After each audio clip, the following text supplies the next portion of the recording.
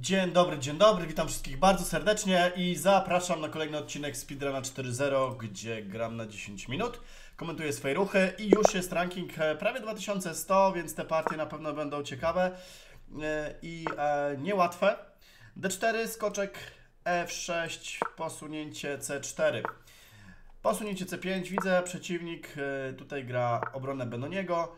Jest posunięcie E6. Tutaj spokojnie wyprowadzamy skoczka broniąc. Nic się nie dzieje. Bicie, bicie. E, plan jest, żeby zagrać E4. Można też skoczek F3, nie trzeba się śpieszyć. Może być też taki plan, żeby skoczka przerzucić tutaj i tutaj. W sumie to już zastosuję, czemu nie. E, zastanawiam się, czy goniec F4. Znaczy goniec F4 też można było, to jest jeden z wariantów, ale w ten sposób też można grać tak żeby sobie wstawić tego skoczka na C4. Po A6, A4 jest praktycznie obowiązkiem, żeby nie dopuścić do ruchu B5, żeby skoczek miał dobrą placówkę. Sprawa prosta, trzymamy się tego planu i już.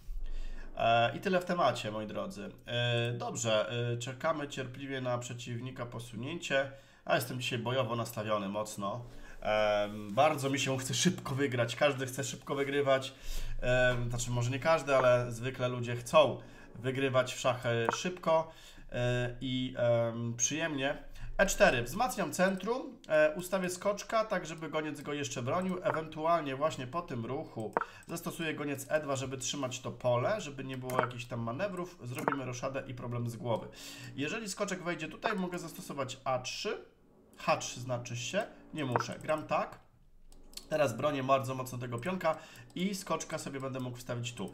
Jeżeli wejdzie mi skoczek na to pole, rozważam taki ruch. Możliwe, że ten ruch jest dobry, wtedy skoczek wraca i goniec F3, a jeżeli nie, to takie posunięcie będzie e, prowokacyjne do tego, żeby zagrał tu przeciwnik. Wtedy uciekniemy tu, F4 i e, będziemy planować powrót.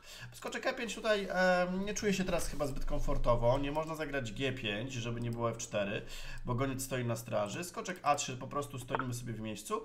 I teraz posunięcie F4, on wróci i ja zagram tak. Coś w tym stylu, tak. E, I goniec F3, będę pilnował pola E4. To jest bardzo ważne. A, on może tędy zagrać. Y, jeżeli zagra tutaj, ja mam opcję też hetman E2 i tu będę atakował. Zwróćcie proszę uwagę, że nie ma B5. Świetnie skoczki tutaj e, bronią to pole, więc hetman E2 będzie w zanadrzu, jeżeli nastąpi taki ruch, bo to jest też takie typowe posunięcie do tego, żeby się rozwijać czarnymi na polu C5, może wstawić skoczka. No i teraz trzeba zwrócić uwagę na skrępowane figury czarnych i to jest mały sukces białych. Gdzie tutaj nastąpił błąd? Nie wiem, musiałbym się przyjrzeć w, analizie, w analizie na pewno, ale y, skoczek E5, skoczek D7 już świadczy o tym, że coś tu nie poszło po myśli czarnych. Według mnie wszyscy powinni być zadowoleni. Dobra, wracam tu, nie, chwila. Jakie wszyscy zadowoleni? Nie, nie wszyscy. E, Szachuś jest zadowolony. Słuchajcie, G4 jest ciekawym posunięciem, żeby zagrać G5. Skoczek wejdzie tu, to trzask. E, to jest do zrobienia. Ewentualnie jeszcze skoczek tu, jeżeli zagra tak Bicie, bicie, skoczek tu. Nie chcę tego zrobić. E, dobra, zagramy ostre G4, e, żeby zagrać G5. Nawet po ruchu skoczkiem ja niekoniecznie muszę zbijać. Tu będzie grożyło bicie i tutaj, ale mogę to zbić. Mogę to zbić i to fajnie też może funkcjonować w sumie. Zwykle jak się gra w szachy, e, taka jest moja recepta na grę w szachy, żeby zwracać uwagę na to, co może zrobić przeciwnik, czy nie może nas skontrolować, coś w tym rodzaju. Wtedy y, jesteśmy bardziej czujni na pewno y, na y, posunięcia, które wykonujemy. To taka moja mała mm, rada. Jest H6. Dobra, gramy H4. E, ten plan widziałem bardzo często, słuchajcie, to jest takie ciekawe dosyć. E, tutaj można sobie stosować ten bardzo silny atak. E, król jest bardzo odsłonięty, ale jak widać temu królowi nic na razie nie zagraża, więc z czystym sumieniem sobie tutaj gram H4 i on musi się pocić. Oczywiście znalazł skoczek miejsca na polu H7. Niech sobie tam idzie. Jego sprawa. O, słuchajcie, poszedł od razu. E, nieźle. Tutaj raczej to nie działa, bo bicie potem G5, chociaż goniec E3. Goniec E3 zagramy. Przerzucę gońca na F2, będzie najlepiej, bo tutaj czasami są jakieś tam mm, niebezpieczeństwa związane z poświęceniami, ale tu gońce świetnie teraz chyba działają broniąc pionków, broniąc pionki. G5 to jest chyba dobry ruch z jego strony. Mógłby nastąpić prawdopodobnie. Możliwe, że G5 ja muszę, musiał, musiałem zagrać. Tylko ciekawe, czy on dostrzeże takie posunięcie. Chodzi o to, żeby tu wybić i wejść skoczkiem. Tyle, że ja mogę może być szybszy, nie wiem, ciężko powiedzieć. Ja bym G5 zagrał. G5 mi się bardzo podoba. G5, bicie, bicie. Chyba bicie, bo jak cierpieć to za coś, wejdzie skoczek, wrócę. Eee, A wieża stanie na F5, może mieć świetne pole, nawet poświęcę tą wieżę. Dobra, już widzę jakieś perspektywy dla siebie, więc e, nie boimy się, spokojna głowa, wszystko działa jak należy. Ok. Mój drogi przeciwniku, obrona Belonii jest ciekawa, ale jest też trudna. Dobrze, trzeba ją tam sobie rozpracować, żeby sobie swobodnie grać ten debiut. Zobaczcie proszę też na to, że... A, F5 jednak teraz. Ojejku, ja przeoczyłem to posunięcie. Dobra, teraz pojawia się ważna kwestia. Pionek E4, bo jak zagram tak, on mi trzaśnie tu i zbije mi tu. Ale G5 jest ważnym ruchem, żeby nie puścić tutaj skoczka. Bicie, mm, filunia. Może hetman D3. Albo hetman D3, żeby bronić gońca. Tutaj, dobra, hetman D3. Wzmacniamy centrum, bo jeżeli będzie bicie, to bijemy. C4 nie ma, bo tu, jak skoczek wejdzie, to zawsze tam. E, I jak wybiję, to wybijam tu i strzelam. Jeżeli skoczek wejdzie tu, to jest w sumie ciekawe, ale to chyba tutaj. Nie, skoczek ten wejdzie tutaj. Tu, tu i G5. Tu nie wejdzie, bo tu jest obrona. Dobra, to się wszystko trzyma. Nie może też tak być, że moje figury stoją bardzo optymalnie, wszystko bronią w centrum niemalże i gdzieś on znajdzie jak, jakąś lukę, żeby wejść swoją figurą i mnie tutaj em, postraszyć i zająć dobre miejsce. No, nie wierzę w takie rzeczy. Znaczy, e, szachy to jest konkretna, tutaj bazujemy właśnie na konkretach, na konkretach ale z ogólnego założenia e, nie wierzę, że można się w tak łatwy sposób przebić bez e, jakiejś korzyści dla siebie. E, Tutaj mówię z perspektywy właśnie białych. No dobra, mm, czekamy cierpliwie. No, Hetman zagrał na D3 dosyć szybko. Bicie takie jeszcze istnieje. Bicie, skoczek może wejść i nie będzie G5 już, ale będzie też E5 y, możliwe, że będziemy, będziemy przygotowywać.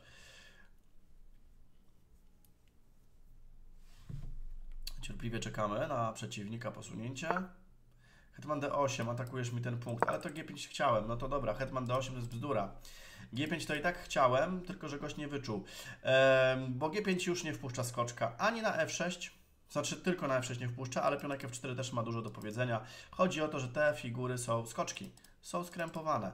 One tutaj e, już e, nie mogą nigdzie e, ruszyć, więc to jest dobra wiadomość dla białych.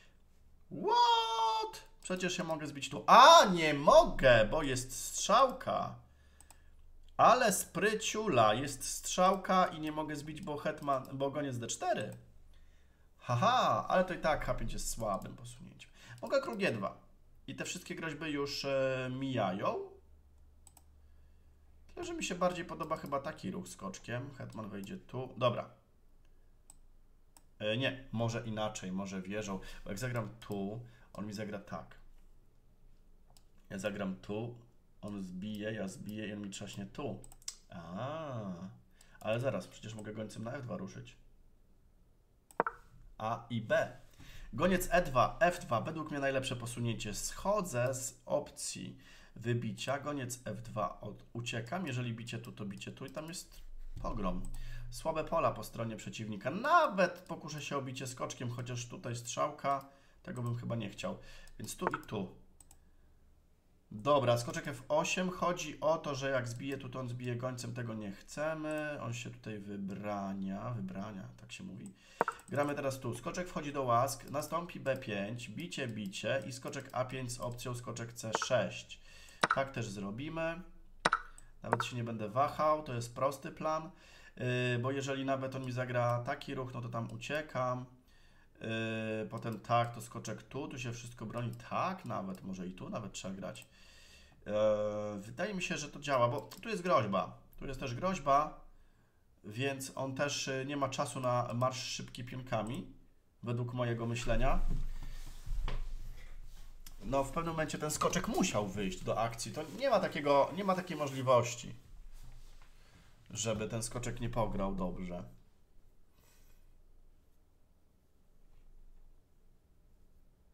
No to jest też taki charakter pozycji, em, gdzie właśnie Hmm.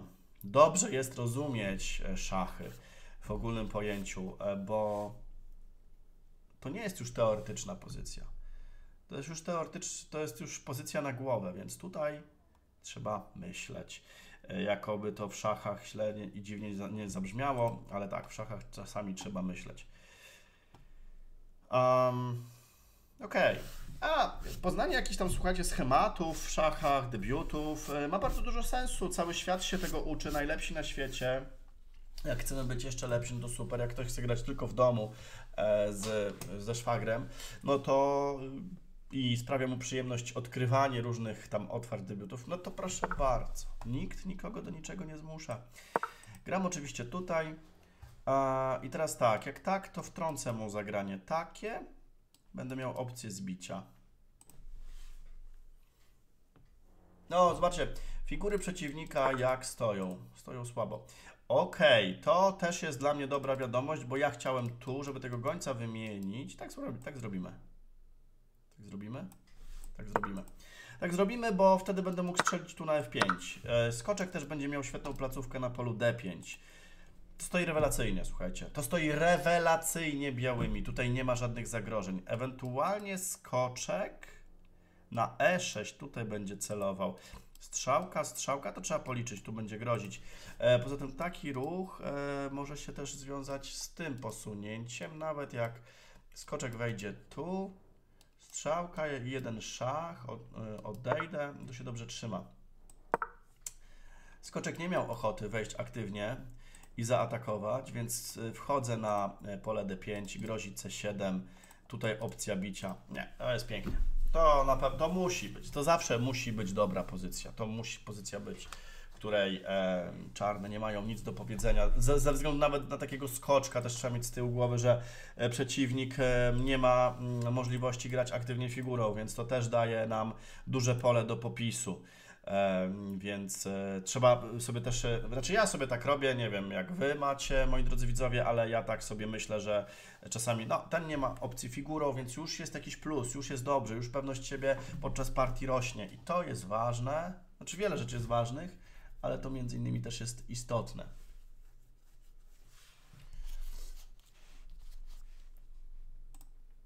No i już gościowi zostało 50 sekund. Świadczy to o tym, że mm, no, też nie pograł najlepiej i wymyślał jakieś tam e, opcje dobre dla siebie, e, ale widzi, że tutaj już się wszystko sypie.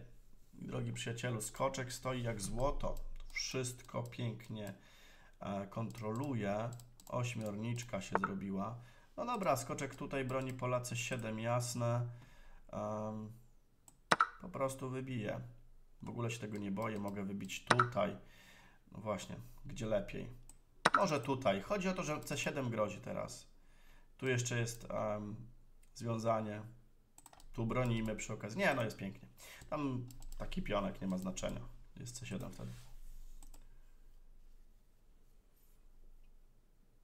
Myślę, że totalna dominacja w tej partii. Totalna.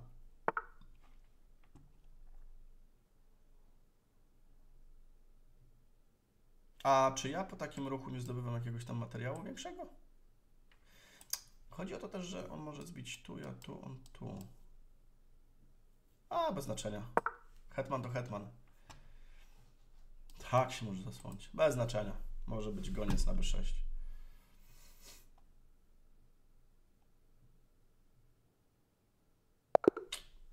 Spadł czas w kompletnie beznadziejnej pozycji. No dobra. 2101. Przekroczyliśmy 2100, moi drodzy. Szukamy sobie nowego przeciwnika i mamy go. 2080. E4 ze strony gościa. E, jak zagrać? Jak zagrać, moi drodzy? Wymyślam sobie. A, C5. No tam obrona sycylijska jest y, częstym debiutem, więc tak zagramy. I trochę rzadszy wariant, skoczek na F6. Zobaczymy, jaka będzie reakcja. Może będzie posunięcie E5 z niezłą zadymą. Skoczek na D7 sobie, na D5 sobie e, pójdzie. A ciekawy jestem, czy, spro- czy gość zagra E5, bo on wie. Wie, on wie, że tak się gra, ale to też jest prowokacja. Skoczek D5. Jeżeli C4, z tego co wiem, to chyba tak. Żeby skoczek na E6 fajnie sobie stanął. G6, więc G7 to są ciekawe plany. Ok. Bicie. W Sycylu trzeba to bić. Jeżeli zbije hetman, zbił skoczek. Ciekawe. To gramy skoczkiem. Jeżeli wybicie, to wybijam tym pionkiem. Ewentualnie, nie, tym nie. Tutaj to tym. Zdecydowanie tym. No i wszyscy są zadowoleni znowu. Skoczki są w grze. Można grać z planem. O właśnie, tutaj. E, teraz pytanie, bo trzeba ostrożnie, ostrożnie tutaj trzeba uważać, bo teraz tak, jak zagram tu, czy on nie ma poświęcenia. E, tu nie można. Nie, nie ma. Nie no, chyba nie ma mata, co? Ja już tutaj e, po prostu dmucham na zimne, ale chyba tu się nic nie dzieje. Skoczek B6, od razu z atakiem na tego gońca. Jestem przekonany, że on y, analizuje to wybicie, ale to nic nie daje. Y, wybicie tu jest dobre. Wybijam oczywiście tym pionkiem, atakując dalej gońca. Y, możliwe, że C5 będzie w porządku. Bo muszę... Nie, C5 nie jest w porządku, bo tutaj będą strzałki. Ale nie. Przecież skoczek broni. C5 mi się podoba tą gońcem. Czy tak grać? Czy D5 od razu? Czy może tak? Na pionka.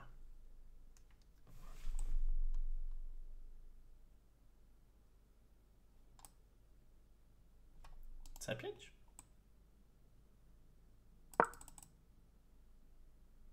Wydaje mi się, że jest ok. Kuszące jest bicie, bicie i szach, ale wieża, wieża nie jest stracona, bo skoczek broni. Więc niech będzie C5. Grozie C4. Chcę zdobyć figurę. Tak po prostu. Ok? Aha! Rozumiem. Nie mogę tak zagrać, bo on po prostu to zbije. No dobra, muszę zagrać E6 w takim układzie. Ale to w niczym nie przeszkadza, bo ja już widzę opcję hetman C7, goniec B7. Chyba, że zagra A4, to wtedy wieża B8. Skoczek ma zawsze ucieczkę, ale też mam wtrącenie na gońcem i wejście skoczkiem. Jest ok. Jest bardzo ok. Myślę, że pozycja czarnych jest tutaj bardzo dobra. Myślę, że jest bardzo dobra. Przez duże by. By, by, by, by, by, by, by. by. Bardzo, do, bardzo dobra pozycja. No cóż. Sycyl chyba w bardzo dobrym wydaniu. Tak, A4 to jest e, ruch bardzo logiczny. Więc wieża B8. Tak zrobimy, tak jak mówiłem, tak zrobimy, bo grozi takie posunięcie, ale mam wtrącenie, goniec B7 że hetman gdzieś tam odejdzie, nie widzę dobrych opcji dla niego. Mm, I skoczek sobie wejdzie fajnie na D5. Koniec B7 już sobie fajnie działa. Pewnie hetman G3 zdaje mi się, że tak można.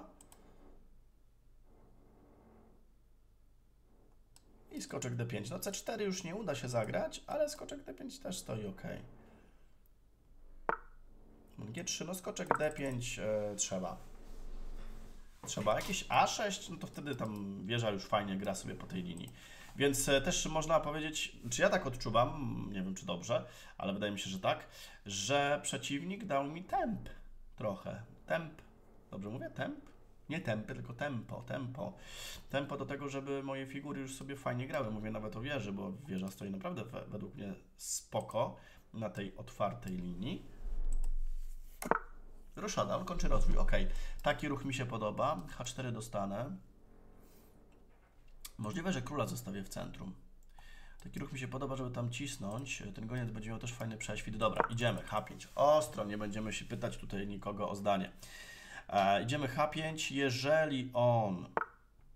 G5! Goniec G5? Serio? A tutaj? Teraz mam chyba taki ruch wtrącony. Czekajcie, bo to jest ważna decyzja. Bo tak, to on nie może zbić. Jeżeli tak, to on zagra tak. Jak ja zagram tu, zbiję, zbiję. W ogóle, kurczę, mi się to strasznie podoba. Tylko ja jestem wariat. I nie chciałbym przesadzić. Z drugiej strony. Tak, tak, tak. On weźmie pionka. Hmm. Nie, bo jak zagram tu, tu i F6, to może tutaj zbić. Dobrze mówię? Chyba tak. Hmm. Dobra. Hetman C7 wchodzi w grę. Bo teraz tak, tak i tak. Jeżeli zbije. Nie chcę, żeby to zbił. No teraz tak, tu, tu i to rozpatrujemy. Bicie, bicie. No weźmie tutaj. No weźmie. I co, i zagram tak? Ten goniec mi się fajnie rozciągnie, to może być też dla niego gwóźdź do trumny. A, widzę jeszcze pewne pułapki, tak? Ale nie, gońca nie będę miał już. Hmm.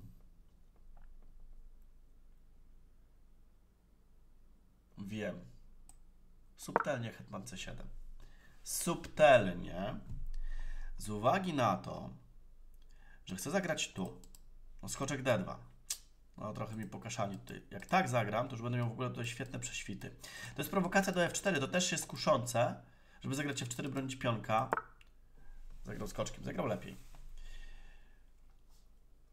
Zagrał lepiej. Ale mogę tak. Bicie, to będzie ok, para gońców, a potem tak. Jasne, goniec A6. Zmienia się koncepcja gry, słuchajcie.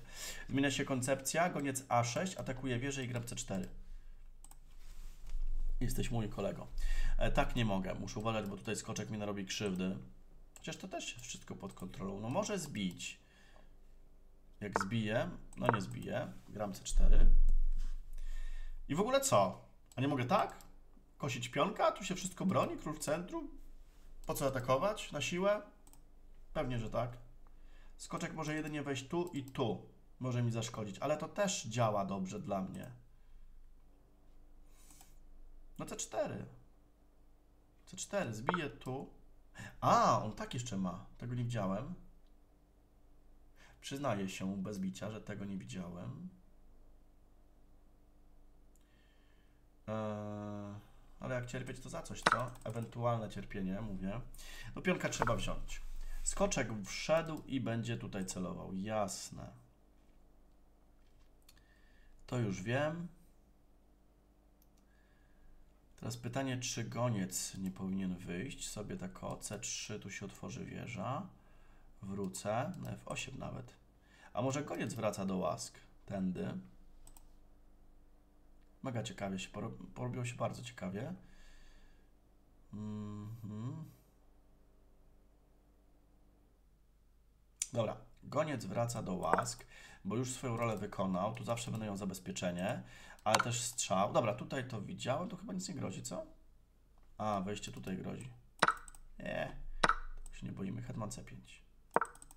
Hetman C5. Takich strzałek jeszcze trzeba się obawiać. A to strzał. Jeszcze chodzi po głowie jakaś tam wieża, ale wtedy mam C3. To też gościa przytrzyma. Co? O! Tu grozi. Wiecie co? Chyba trochę przesadzam z tą partią. Tego nie widziałem. Tutaj to tu ty mi zagrasz. Jeszcze masz opcję bicia. Chyba muszę oddać jakość grając tu, ale goniec mi wejdzie. Muszę tak. Nie, no muszę. Gram intuicyjnie. Dosyć intuicyjnie. On zbije, no ja muszę... A będzie bicie tu dwie jakości mniej, słuchajcie. O kurczę, to jest po mnie. Muszę tak. Tutaj maruch! Ajajaj, przegrywam! Co? Co zrobił? Ha, mat grozi. Ale mnie załatwił gościu, nie? Brawo. No brawo dla gościa, no. Ale mnie załatwił bez mydła. A ja tu byłem pewny, że mam świetną pozycję. Ojejku, ale mnie rozstrzelał.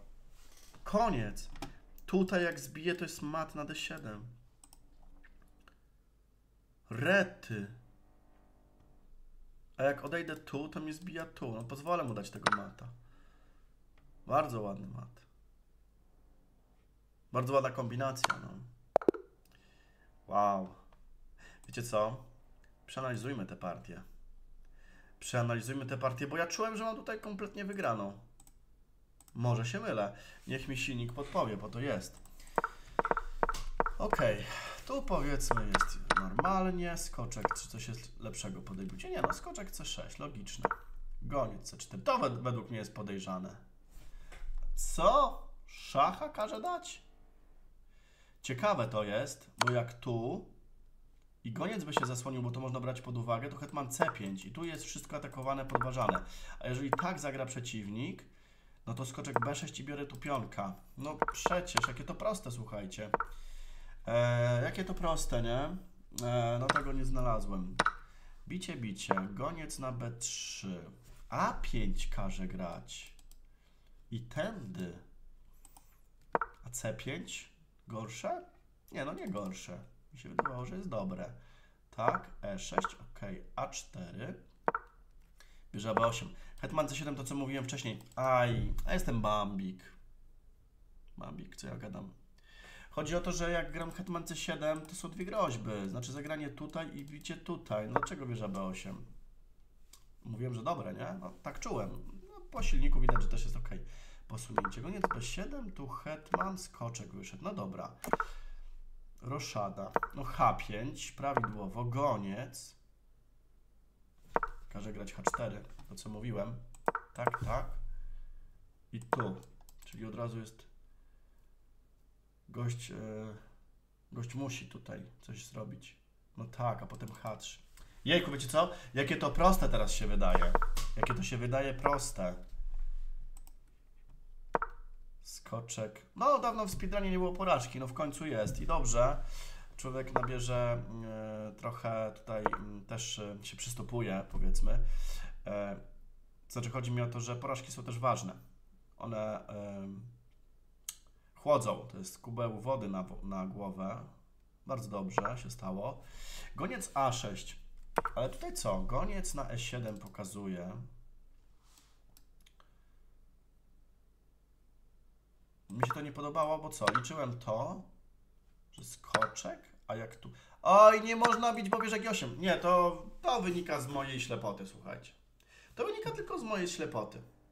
Jakie to wszystko jest łatwe. Jakie to wszystko jest łatwe, jak teraz człowiek widzi w analizie. Goniec ruszył tu, tu. Wydawało mi się to świetne. Goniec A4. Dalej czarne mają dobrą grę. Tu każe grać. Tak, tak i tak. Żeby to zdjąć. I skoczek E2 grozi. On musi się martwić. Wow. A bicie było fatalne, jak widać. Goniec wró... Uuu, goniec B7, ale błąd, naprawdę. Ajajajajaj, Krzysztof. Nie doceniłem już tutaj siły tych wszystkich figur drzemiących i czekających na dobrą okazję. Goniec B7, skoczek D6. Bić muszę, bicie. Hetman tu. Ajajajajaj.